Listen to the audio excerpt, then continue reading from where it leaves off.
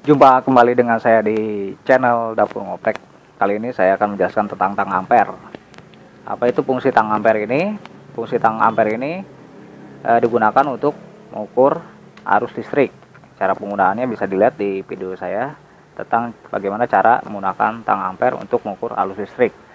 Tang ampere ini selain digunakan untuk mengukur arus listrik, dia juga bisa digunakan untuk mengukur e, hambatan atau resistansi.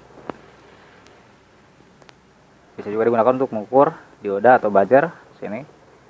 Uh, dan bisa juga digunakan untuk mengukur uh, tegangan pol DC dan pol AC nah, di sini bisa lihat ada dua lubang sini untuk menghubungkan probe ini.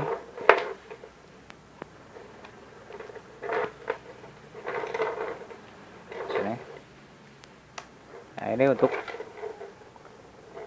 penggunaan pengukuran yang lainnya selain mengukur uh, arus listrik AC. Nah.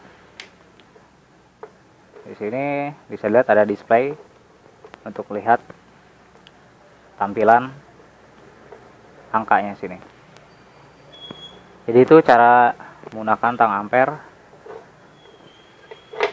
Semoga video ini bisa bermanfaat dan terima kasih.